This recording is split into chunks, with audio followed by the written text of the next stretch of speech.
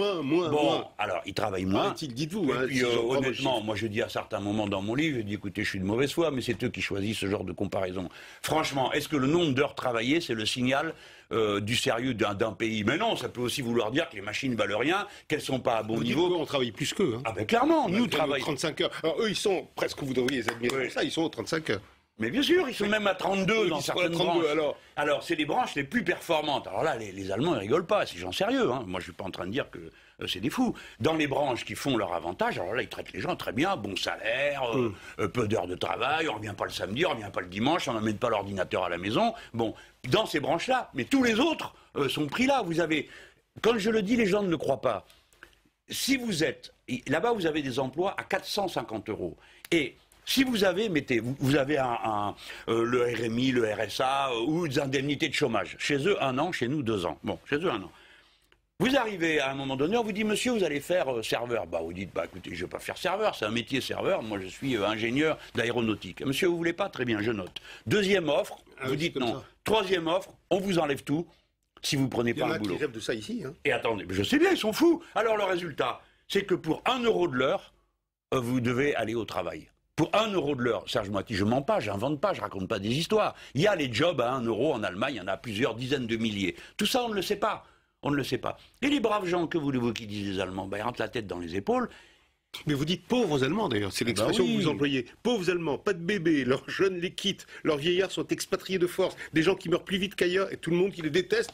Bonjour le modèle. Oui. C'est ça que vous dites. Ah, Et bah, vous pouvez marrer que je vous cite. Bah oui, ça fait, il faut, ça Oui. fait pour faire sourire. hein. Oui, non, mais ça y est, vous réussissez, c'est pauvres Allemands, enfin. Bah, c'est lugubre comme histoire à raconter. Par exemple, le journal Le Monde euh, avait, avait mis à un moment donné, il avait fait un papier à raconter euh, les Allemands exportent leurs vieux. Il, parle, il parlait de déportation inhumaine Oui, hein, dans le monde. Le mot, Le monde, euh, c'est le des mot est épouvantable, hein, déportation. Oui, alors en fait, c'était la reprise d'un syndicaliste allemand qui disait Mais c'est une honte de faire ça. Euh, nos vieux qui ont reconstruit l'Allemagne, bon. On oubliera de savoir pourquoi elle a été détruite. Euh, bon, quand on reconstruit l'Allemagne, euh, eh ben, euh, quand même, c'est pas juste. On les, on les met à l'extérieur parce que. vrai On les Ben exporte oui, ils sont, quoi, ils on sont les- très nombreux. Ils ont compté qu'il y avait 400 000 personnes qui n'étaient plus en état de se payer une vie décente. Alors, Donc, il ne faut pas est- qu'on fasse les malins, parce que ça ne veut pas dire que nous, on est tellement meilleurs qu'on est un modèle. Ouais. hein. Mais à quoi bon imiter un truc pareil hein? D'ailleurs, c'est ce qu'on. euh, tous les dirigeants français vous disent ça, il faut faire comme l'Allemagne. Mais, d'où vient cette germano-latrie, comme ça, française, triomphante, que vous fustigez tout au long de votre livre? Ouais. Elle vous rappelle une germano-latrie plus ancienne? Je crois que dans les élites conservatrices françaises, euh, ah oui, il y a le fantasme, quoi. hein. C'est l'ordre, la discipline, les travailleurs qui se taisent, euh, tandis que les Français, c'est les Gaulois, euh, les syndicats. Alors ça, ça leur fait horreur, quoi. Euh, ils oublient que chez les Allemands, le, le- le mouvement socialiste révolutionnaire a été extrêmement puissant. D'ailleurs, ils s'en sont débarrassés qu'en tuant les dirigeants. hein. Euh, encore maintenant, le- le- les salariés de la Poste, les salariés des chemins de fer mènent des grèves terribles en ce moment même. Alors, en France, il y a la légende d'après laquelle, alors à chaque fois, on me dit oui, mais Madame Merkel, elle est reconduite. Les Allemands l'ont réélue triomphalement. C'est un mensonge éhonté. Madame Merkel n'a pas été réélue triomphalement. Elle n'a même pas la majorité. Elle n'y arrive que parce que les socialistes ont accepté de gouverner avec elle, plutôt que de gouverner avec les Verts et Die Linke, qui est notre parti. Donc, euh, l'Allemagne n'est pas ce paradis. Maintenant, pourquoi je fais ce livre? Pour deux choses un, désintoxiquer, deux, redonner. Pour ça qu'il y en a qui m'ont bien vu arriver. Redonner de la fierté aux Français d'eux-mêmes. Quoi. Ça va d'arrêter. arrêtez Mais pourquoi Cécile. Dufaux, elle vous dit ton hareng, il me reste euh, là, en travers de la gorge, Cécile Dufaux Oui, je pense ça n'a rien à voir ni cours. avec le hareng ni avec l'Allemagne. Mais avec le PS Oui, je pense qu'elle donne des gages. Alors elle m'est tombée dessus tout d'un coup. C'est- Imaginez-vous, comme c'est pas, elle n'était pas obligée d'être aussi agressive, me comparer à des roulettes de l'extrême droite, parler des images sépia et euh, de mon universalisme français. Bon, moi je lui demande pas d'aimer la patrie républicaine comme moi, mais elle pourrait parler sur un autre ton. Euh, des gens comme moi qui chantent la Marseillaise avec enthousiasme parce que c'est un chant révolutionnaire. Elle n'est pas obligée d'aimer ça, mais elle n'est pas obligée d'essayer de m'en dégoûter ou de dégoûter les autres. Non, je pense que honnêtement, cette, C'est cette qu'elle veut femme se rapprocher du PS, Ouais, quoi. elle veut- elle veut donner des gages. En fait, je crois qu'elle est prise dans un étau, parce que les uns chez elle veulent aller gouverner avec les socialistes, les autres ne veulent en aucun cas, et d'ailleurs sur le terrain, sont en pleine osmose avec les nôtres. hein. Tout ça, ça travaille ensemble. Alors elle, elle s'est dit, bah voilà, on va faire le plus petit commun dénominateur des listes tout seul. Alors ça, c'est ridicule, parce que Alors ça que nous vous, allez faire des listes citoyennes régionales, vous dites? Oui, on va, on va essayer. On y Enfin, travaille. c'est ce que depuis, vous euh, dites. On y travaille depuis de nombreuses semaines. Et vous Enfin, vous, pas moi. je- vous vous présenterez au présidentiel en Non, euh, 2017 au présidentiel. Ouais. On va voir. Vous savez, c'est C'est une rude épreuve. Et puis, il faut ne voir. De toute façon, c'est clair, j'ai une décision personnelle à prendre. D'abord, parce que je suis pas un pion. Les autres décideront pas à ma place de ce que je vais faire. hein. Bon. Euh, je suis un rebelle et je veux être maître de ma vie. Donc, euh, je déciderai le moment venu et je, je verrai comment je vais m'y prendre. Parce qu'il y a aussi le, ce que les autres m'en diront, mais leur avis n'est pas indispensable. Voilà qui est clair. Oui. Voilà qui est clair. Ben, écoutez, je vous remercie beaucoup, Jean-Luc Mélenchon. Maintenant, place à nos amis du Lab d'Europe 1. Vous savez, ils font 140 secondes pour le Lab d'Europe 1. 140 secondes comme les 140 secondes de la tweet. Vous tweetez vous-même? Pardon, oui. Non, pas moi. Dit-il. Non, non, non, pas moi, personnellement. Bon, enfin, des gens tweetent pour vous. Euh, non 140 plus. Bon, Il y a enfin, bon, un tweet j'arrête. qui suit. Non, mais je vais vous raconter ça quand même, c'est une blague. non, non. C'est interdit que je tweete directement, sinon ça serait la bagarre tous les jours. Parce que les tweets les plus vachards euh, qui sont bien passés, c'est toujours moi qui les invente, j'adore ça. La langue la française, en homme est 140 hallucinante. signes. Mais non, Bon, c'est pas de la d'accord, d'accord, prétention. je blague, bon. Dis donc, euh, je compare mes tweets avec les vôtres, hein, si vous Ah, voulez. Si vous voulez. Allez, 140 secondes, Lab d'Europe 1.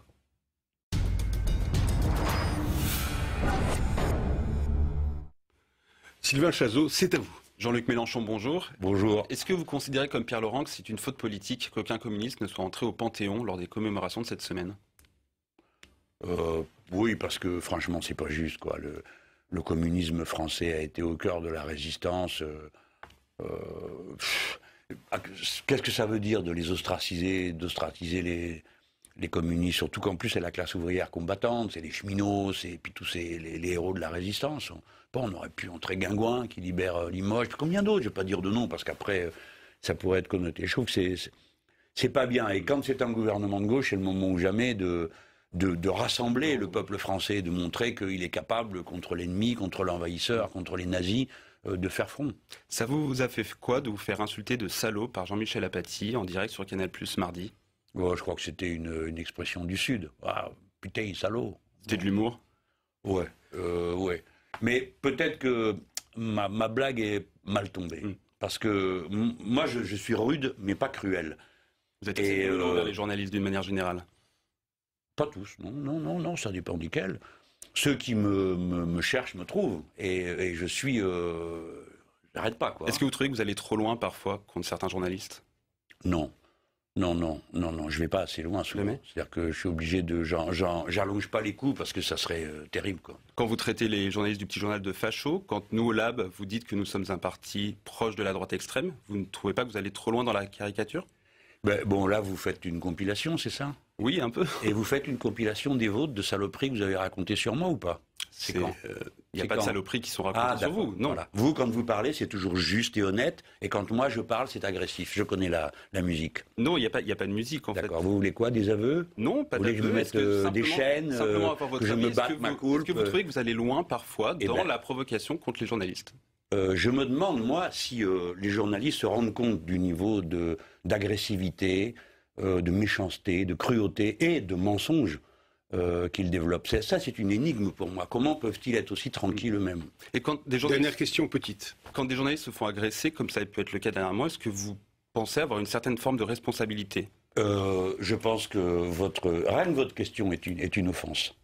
C'est-à-dire, vous voulez me comparer à l'extrême droite, Ah c'est non, ça? Pas du tout. Avec votre crâne rasé, là? Je pense que quand. Ouais, euh, est-ce que parfois, quand vous allez dans la caricature, est-ce que vous participez au dégoût du journalisme? Ah, d'accord. Mais- vous, vous ne pensez pas Il n'y a pas de réponse. que pas Si, c'est ma réponse. Mais il y a des raisons d'être dégoûté. Si vous me demandez, posez-moi une question directe. Est-ce que je suis d'accord pour que l'on moleste des journalistes Non, Ma réponse est Ce non. n'est pas ce que j'ai dit. Bon. Je vous ai dit, est-ce que vous pensez Oui, avoir une forme ça. de Et est-ce que vous ne responsabilité pensez pas, vous, avoir une forme de responsabilité par vos pratiques, vos mensonges, votre manière de traiter toujours les, les dirigeants politiques comme des gens qui sont des menteurs, en les salissant continuellement euh, Vous n'avez pas l'impression de contribuer à la montée de, de- du fascisme et de l'antiparlementarisme? Jamais.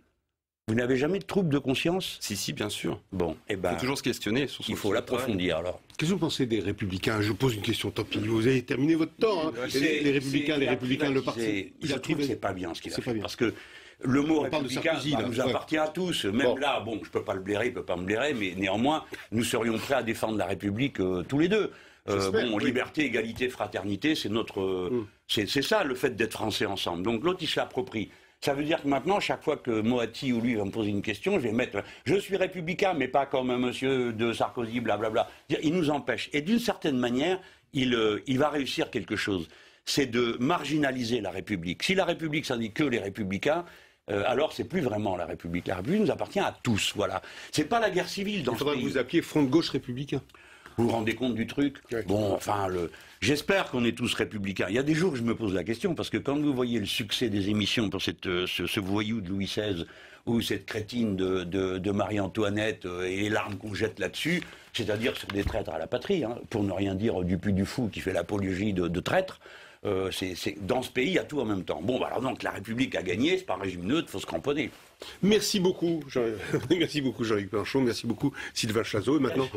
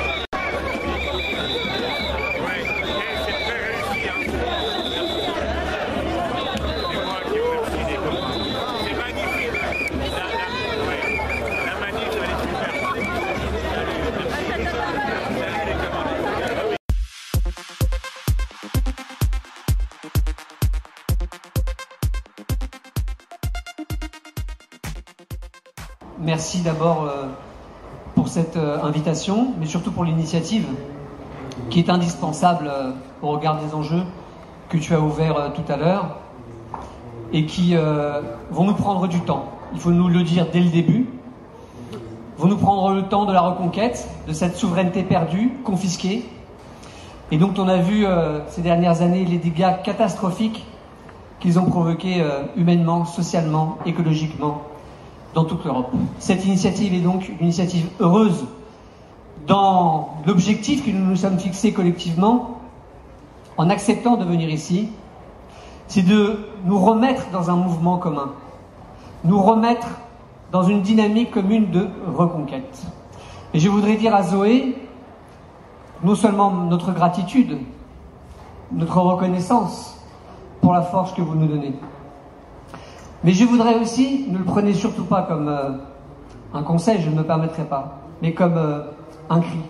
Tenez bon.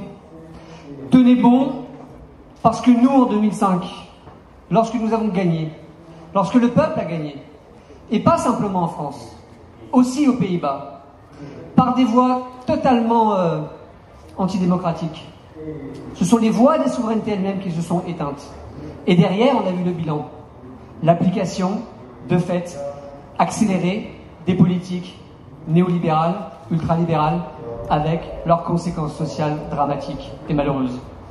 Et c'est parce que ce mandat du peuple qui avait été confié par le peuple au gouvernant en refusant le traité n'avait pas été respecté que, tout ça a été rendu possible, que ce désastre s'est déroulé sous nos yeux. Alors oui, à nos camarades grecs, oui, à nos camarades espagnols et à toutes celles et ceux qui dans l'Europe veulent absolument construire une alternative, nous vous le disons d'expérience, tenez bon, parce qu'il faut que cette digue grecque tienne, que ce soit sur sa souveraineté, que ce soit sur la question démocratique, ou que ce soit sur le réenchantement du rêve européen dont vient de parler Emmanuel Cos à l'instant.